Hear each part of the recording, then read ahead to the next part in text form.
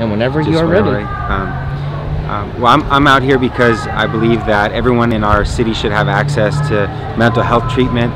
Um, they shouldn't have to wait months and months to get an appointment. And what we know is happening here at Kaiser, which is a nonprofit healthcare provider, is that they are not providing the level of patient care that everyone here deserves. Um, frontline workers are telling us that patients are having to wait months to get an appointment. Uh, young people, children who have severe needs and, and, and disorders that need to get treatment immediately are having to wait or having to be served in group settings instead of one-on-one.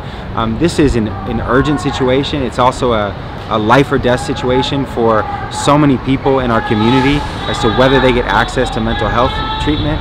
And I just, I'm here because I want to support not just our, our workers who are doing incredible uh, jobs to serve some of our the neediest people in our community, but also our patients who deserve to have access to care. State and federal law says they need to have access to mental health care, and yet Kaiser is not doing that, not providing the basic level of staffing that is needed for these patients to get the care they deserve. So um, I'm concerned as a supervisor, I'm concerned as a former school board member who saw the impact when young people came into our schools not having had attention to their mental health needs, what that did for their emotional well-being, their social well-being, their academic well-being, and in some cases it led to them hurting themselves.